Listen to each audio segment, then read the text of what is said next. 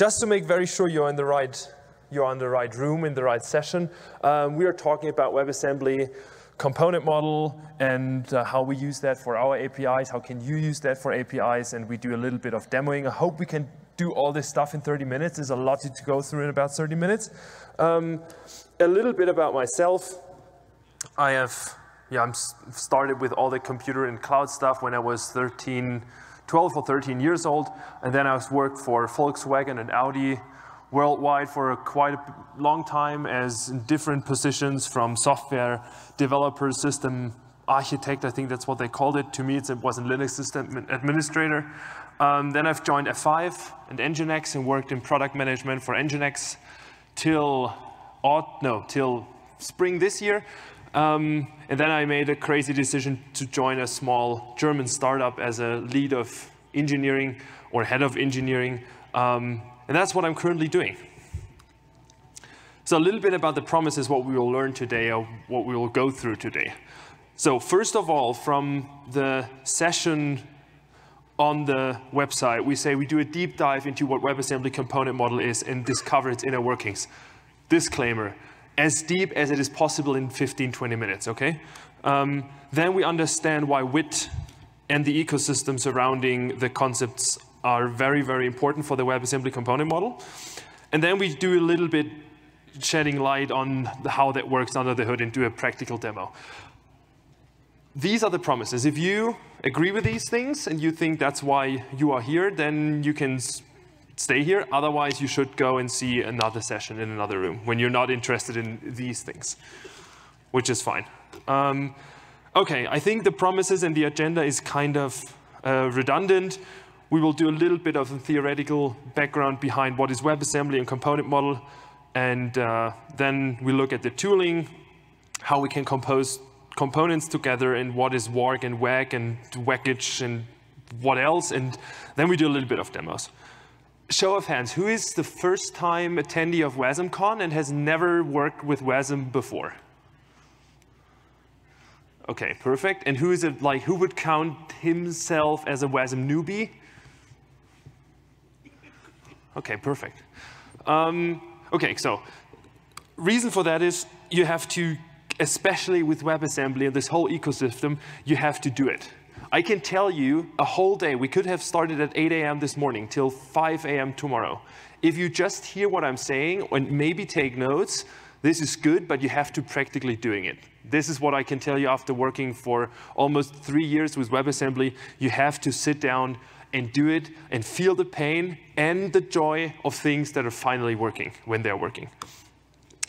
A little bit of history, when I was working um, at Nginx, we have started the implementation into Nginx as a proxy server as well as Nginx unit, and I did some research.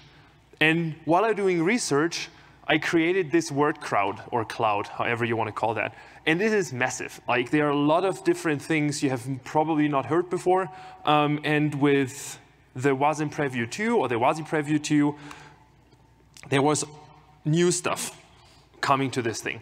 Spin from Fermion was, was part of this word crowd before, but the whole thing of components and wac and Wackage and JCO and Warks and WASM tools, and this list can go on for forever. The amount of things we will come across in this talk and the ecosystem for WebAssembly is huge. It's like diving into a completely separate world of engineering and cloud computing, not kidding. This is this is like, I remember when I first heard about Docker in 2017, this feels similar, where you hear and see something that is so different that you have never seen before.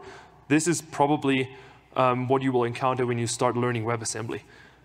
Little bit of the basics about WebAssembly, and I'm pretty sure you have heard that over the course of the day a couple of times, but just repeatedly say what WebAssembly is. WebAssembly is a binary instruction format for a stack-based virtual machine. This is not super important, but it can be helpful if you consider what is basically a stack-based virtual machine, what is this assembly format. And WebAssembly, it, in its design, says it's a portable compilation target for different programming languages, enabling deployment on the web for the client and server applications.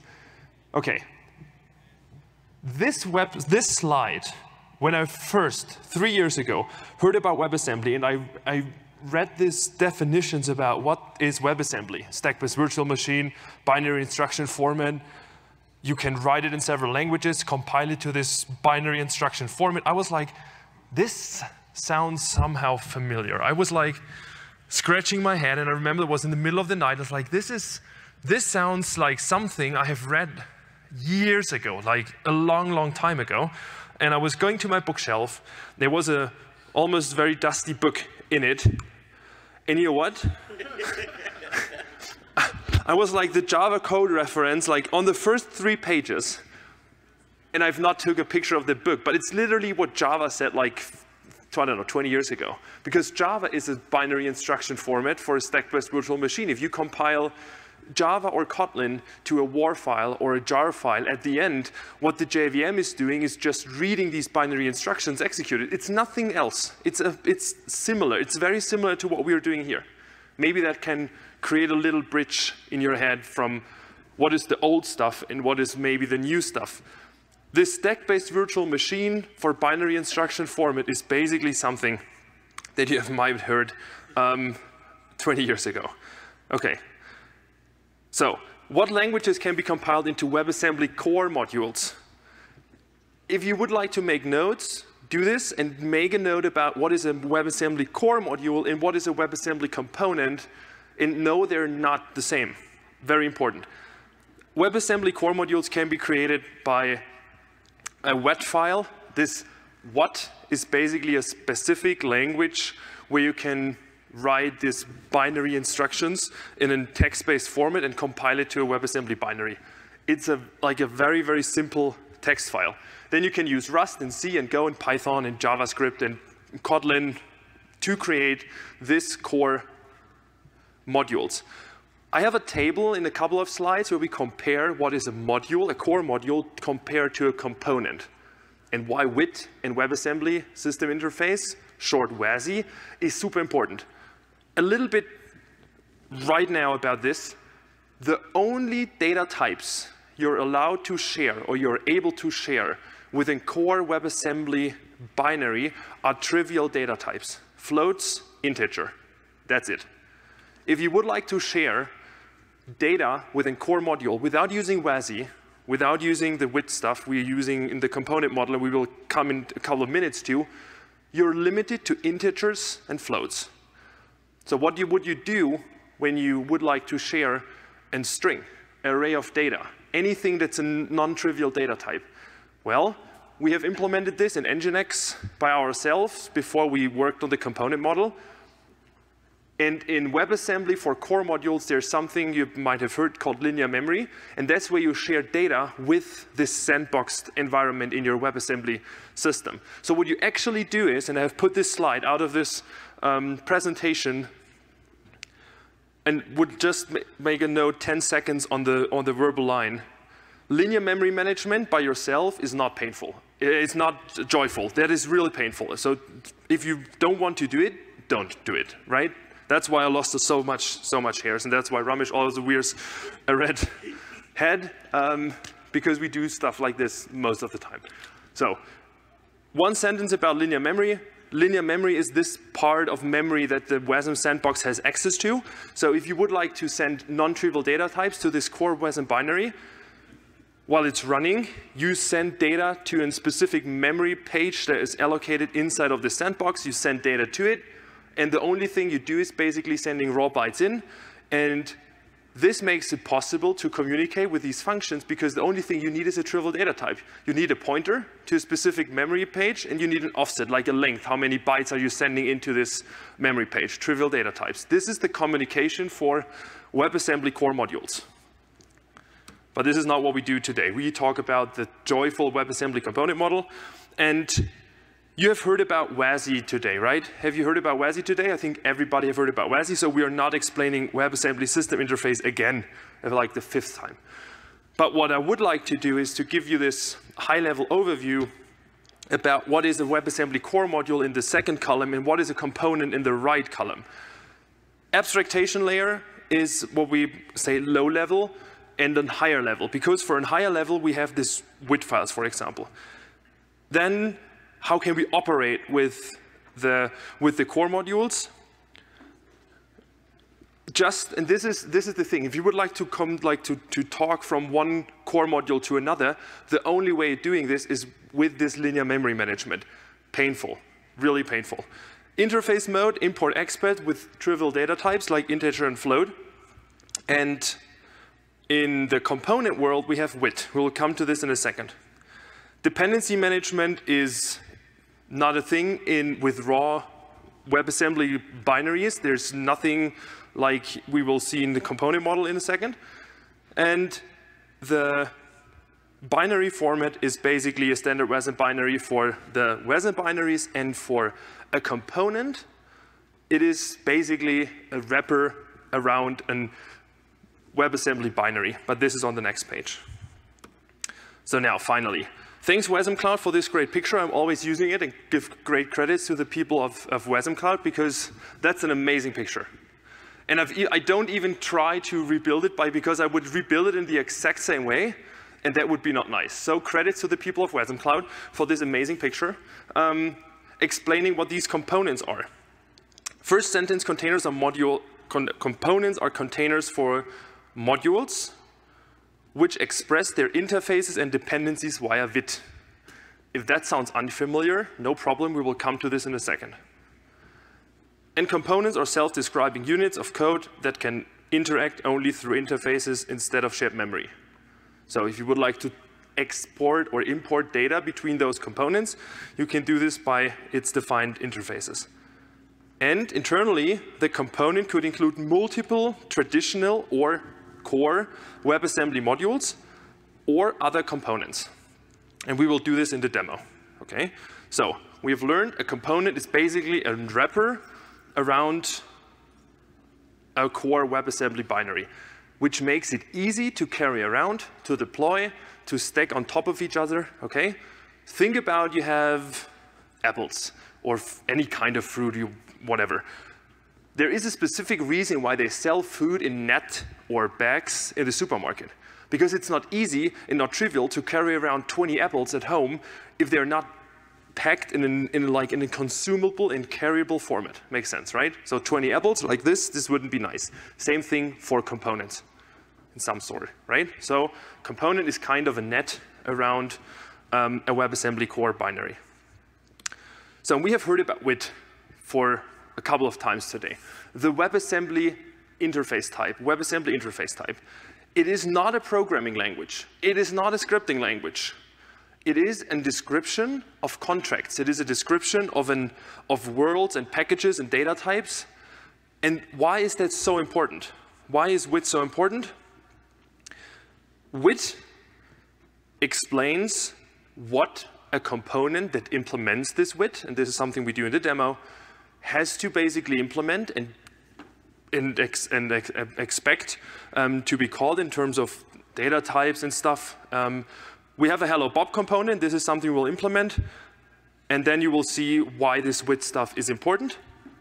And don't be afraid of WIT. That my, I remember the first time I heard about WIT files uh, was um, when we have implemented the WASI Preview 2 components for HTTP um, using the WebAssembly component model for Nginx unit, and I saw these WIT definitions for WASI HTTP proxy, and I was like, holy cow, what is, that looks, this looks complicated. It really isn't. You read the documentation at least once, maybe twice, and then remember what we have said at the beginning, get your hands dirty. Just write WIT files. Create your own components. Create a Hello Bob component, what we will do in two minutes. Just do it a small thing. Don't start with something complex.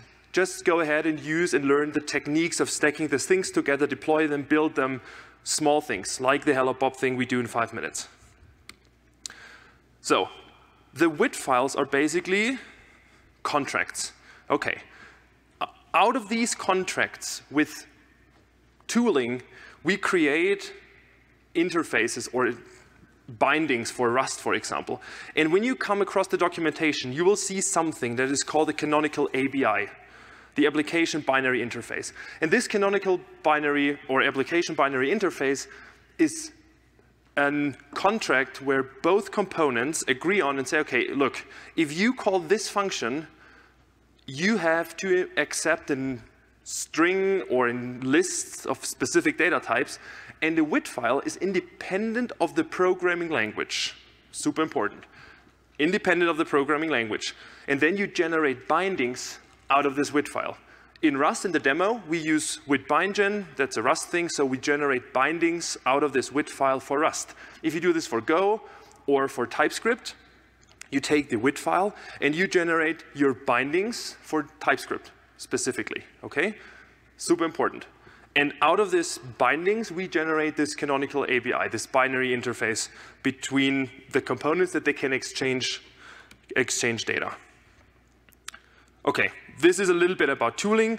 In the demo, we will come about Warg, we will come about wac, we will uh, come about, this is interesting, as a German, I would say WKG, but the, the US people I'm talking with, they say it's Weckage, and it's Weckage because KG is package, and that's why it's Weckage, okay? That's what I've learned today. So WKG is Weckage. If you, yeah, fine, okay? Let's agree that is the Weckage thing, and we will do some Weckaging in the demo as well, okay? Good. Um, working with components. This is like an illustration of what the documentation is saying, how to work with components. Authoring a component is we create a component. Composing is like stacking things on top of each other, and running is you need a runtime to execute um, your component. You can use Wasmtime, you can spin, you can use uh, SpinKube for Kubernetes, you can use Nginx unit, um, and a lot of others. That's just the subset of runtimes I have used.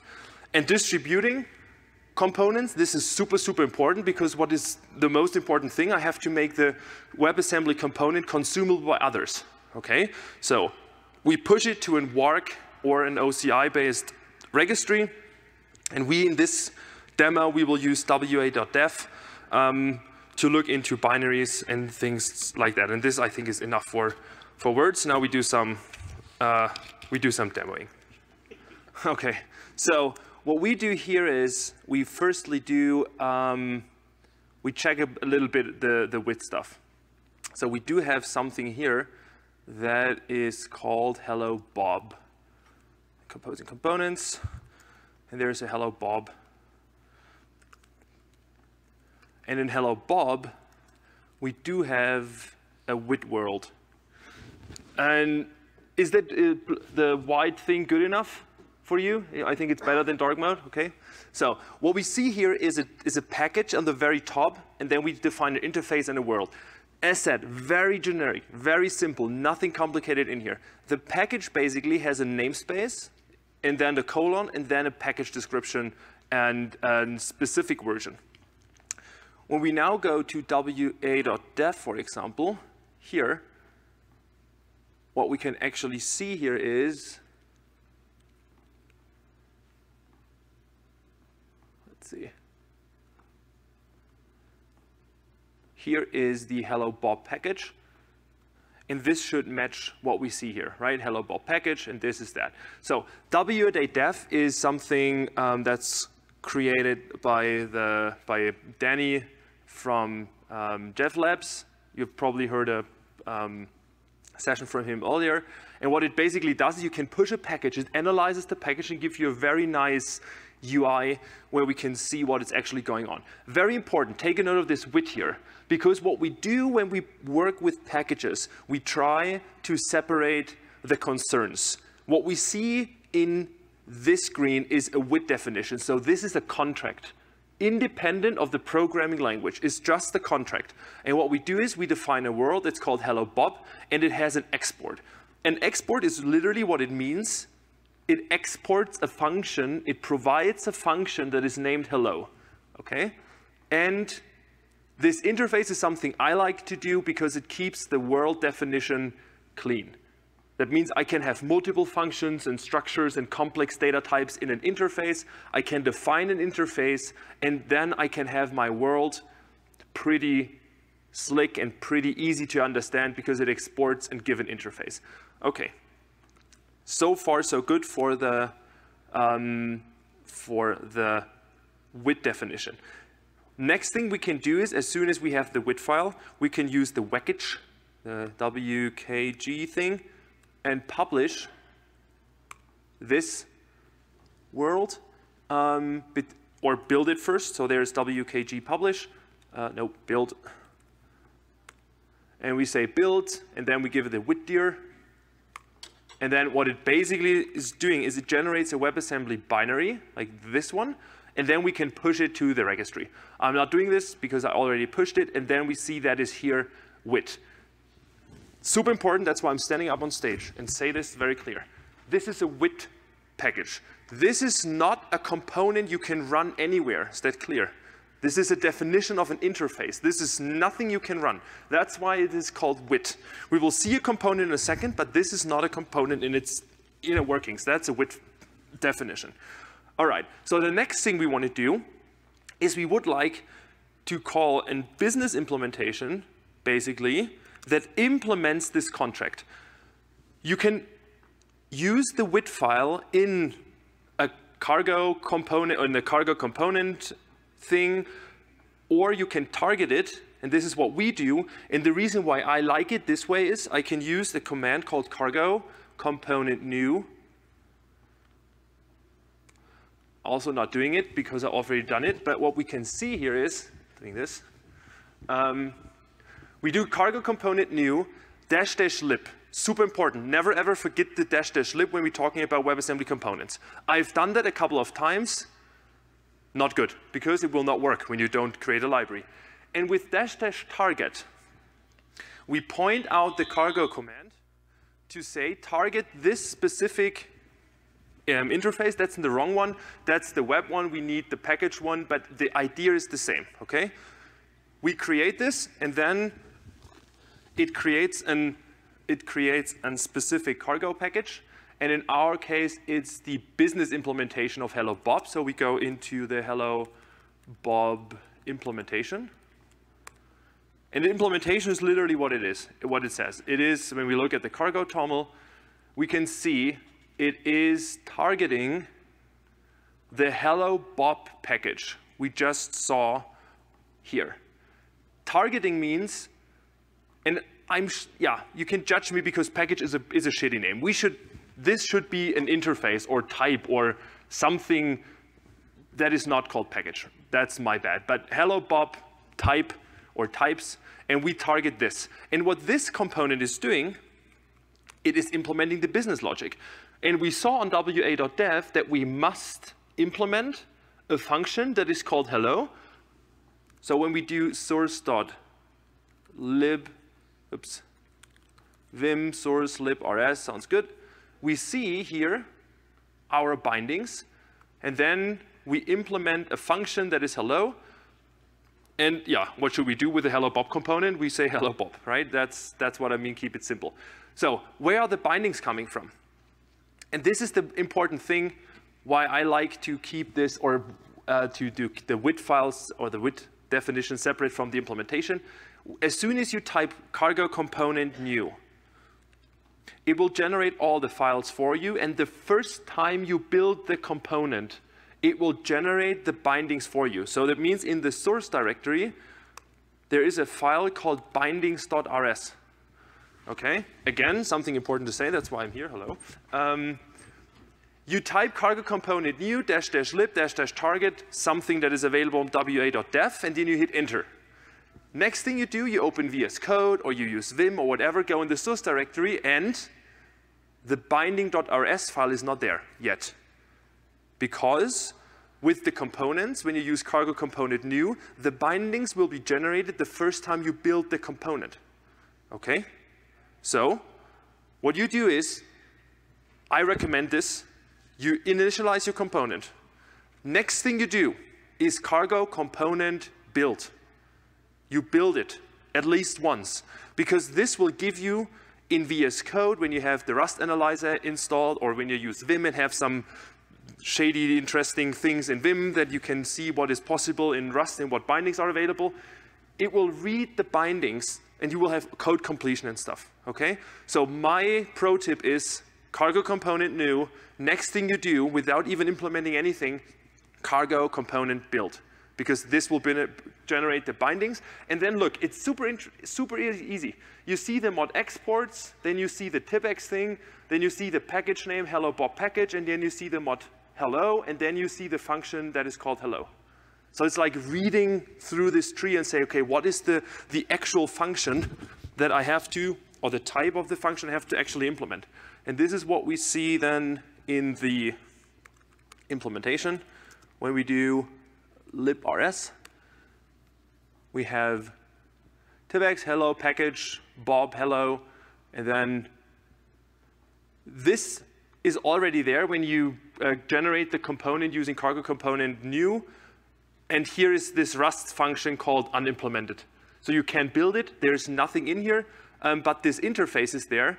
And how do Rust know that this is a string? Pro, pro question.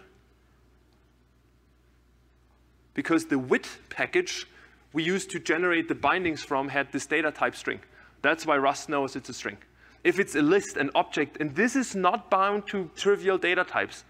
The wit definition language has a huge thing of, of types, booleans and characters and strings and objects and lists and arrays and whatever you can think of. Because out of this wit file, we generate non-trivial data types per language we target um, this definition. Okay, so we have implemented a very complex function that is printing or sending back hello Bob. And Next thing we do is we can now build the implementation because this is a component, okay? So now what we can do is cargo component publish or cargo component build dash dash release. This will build the component. And this is the actual component, okay?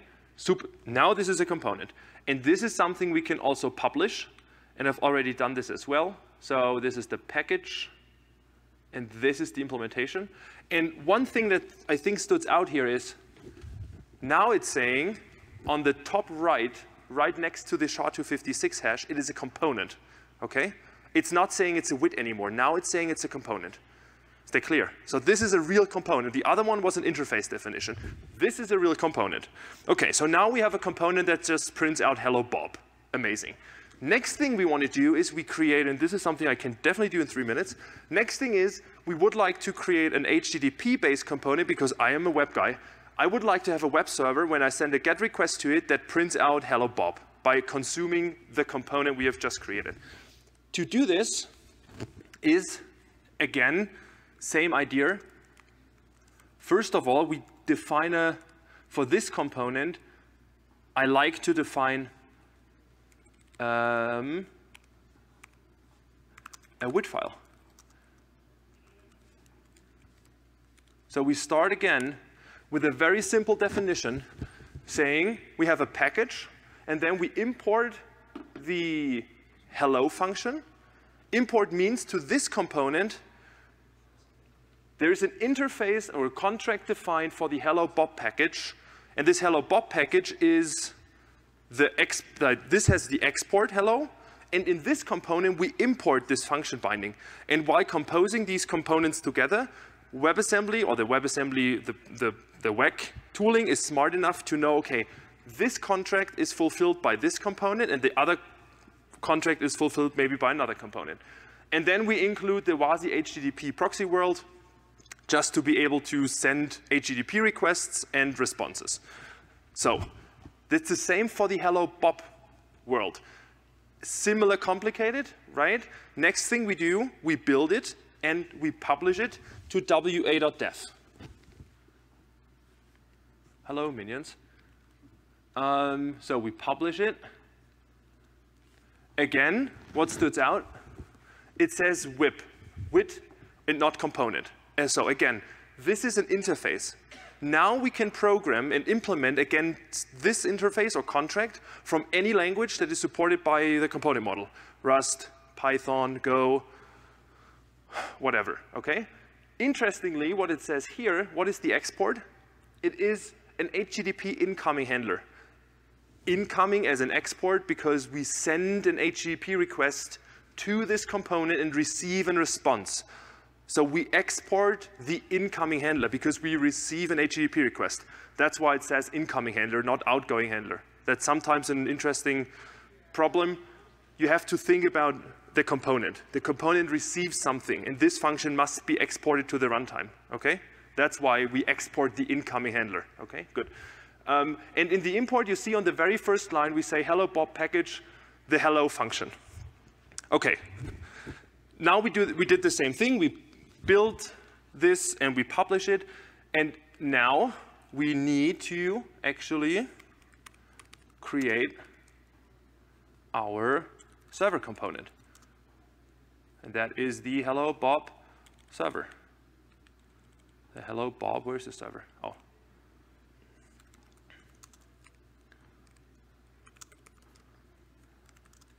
There is the hello Bob web. So, and this is now the final component.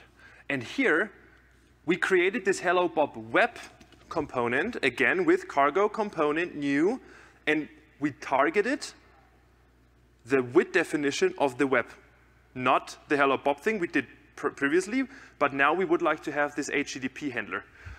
Okay, so in, in the implementation, same thing, we have the bindings, and in the this here, now this looks a little bit more complicated, but it's simple. Just use, look at the very, the very first lines where we have the use statements. Remember, we targeted the WASI HTTP definitions. That's why we import everything we need for the HTTP request things. And then we use the Tipex hello Bob package hello hello thing. That's what we just published to the registry. And then we implement the handler. And when you see the line, I'm not sure when I do set num, or we can actually see the line numbers. Let me see. Set new. Perfect. Um, so line number 14, we see this hello function. And this hello function comes from the hello Bob package where it should print hello Bob. Okay? So what we actually do, and Rust knows this because of the bindings.rs file, and the bindings are generated manually when we target the component and then say um, cargo component build, we'll build the bindings, and because we have the bindings, Rust knows that in the Bob package is a function that's called hello, and that returns a string. Okay, good. When we build this now, so you can do the exact same thing here. You can say cargo component, cargo, okay, forget about it, cargo,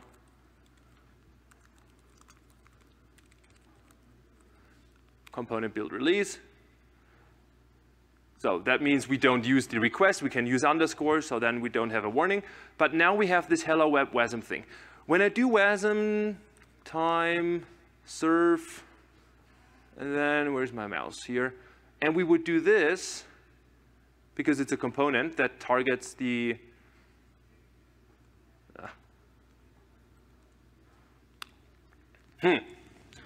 Okay, so now it's saying, fine, that's an actual component we can load on Wasmtime, but you imported this hello thing but there's no matching implementation found for the linker because what we did not do yet is we did not include the WebAssembly binary that has the implementation of the function in this.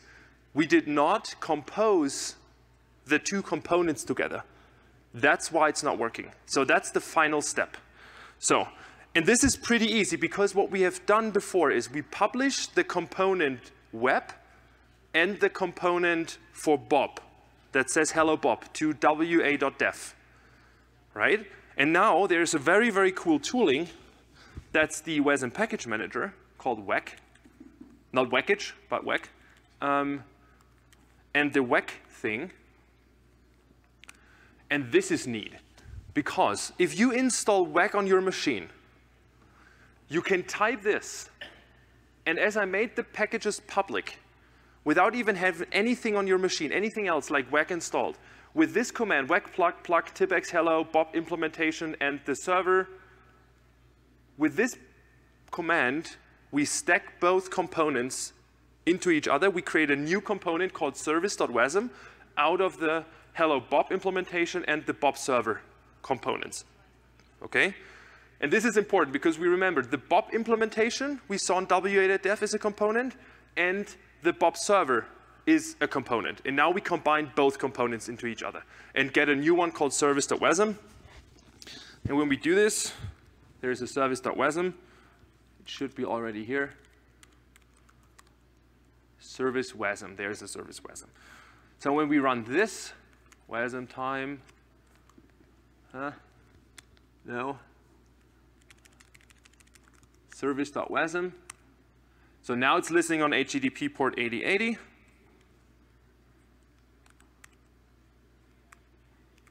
Is it bigger? We curl. Does it say 8080? Yeah, Perfect. Okay, and it says hello Bob. So what happened? The request hit the component with the WASI HTTP implementation. The handler called the component with the export hello Bob. The function we have implemented in the other component just returns the string hello Bob. And because it returns the string hello Bob, we can see here hello Bob. Okay? And the only thing that matters, absolutely that's the most important thing, is then when it comes to this stacking of components and creating of components, very important, that's my last word. When we stack the components to each other with this wac command and plug, we used actual components. We used implementations, like the implementation and the web, uh, the server. This is a component. This is a component. The package is a type and web is a type. These things, hello Bob web, are super important when you type something like cargo component new dash dash lib dash dash target, and this target means what interface, what contract are you going to implement? You're not targeting a component, you're targeting a WIT interface. Is that clear? That's the most important thing when working with W8F, with Warg, with plugins, with putting things together. Keep it strictly separated, have your WIT definitions somewhere, and see them as contracts you define, and then have your implementations separately. And if you use Rust, make sure you do something like cargo component new lib dash dash target and then target something that's on wa.dev or, or somewhere else. But make sure that from your Rust project, you target this implementation. It's a lot easier for you in the development mode to, otherwise you have to change version numbers and things by yourself in the cargo.toml. It's just not as efficient as you do uh, this. And you get free documentation on wa.dev for your WIT files any of your developers can go here and look, and you have the possibility um, to do this private and public. There are private packages and public packages. I have made all of them public, so if you go wa.dev, search for Tibex, you see all my, all my things, and then we can actually um, do this. Okay. So, na na na, na na na na. Where we do use, that's fine. Questions? Do we have time for questions, like a minute? Well, sure, okay. Test, real quick one. Uh, would you publish the service.wasm as another, like a composed component, or is that bad practice? Sorry, that was, can you, a little bit. Would you publish the uh, service.wasm component that's composed from the other components, or is that bad practice? You should only publish the small pieces. Um, you could totally publish the service.wasm to an OCI registry, for example, and pull it from an OCI registry so that you can directly run it using Wasmtime or spin, for example. So you can definitely uh, publish your final composed component. Uh, thanks.